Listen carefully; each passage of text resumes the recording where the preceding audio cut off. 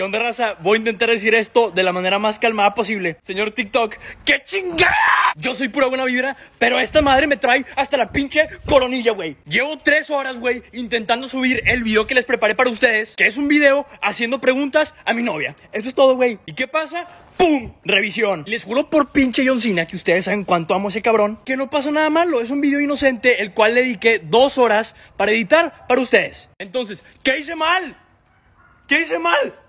Exacto, nada, güey. Pero ya fuera de pedo, nada más les quiero avisar que tal vez el video de hoy que les preparé no lo vean. Y sí, sí me da tantito coraje que a veces le dedico dos horas al día a los videos que subo y al final no los pueden terminar viendo porque TikTok me los borra. Pero bueno, es lo que pasa y solo los quiero mantener al tanto. Y sí, ya sé que sueno como Chavi es cuando me cago. Es mi don, mi maldición. Pero bueno, los amo y pues nada más les quiero avisar eso. Bye.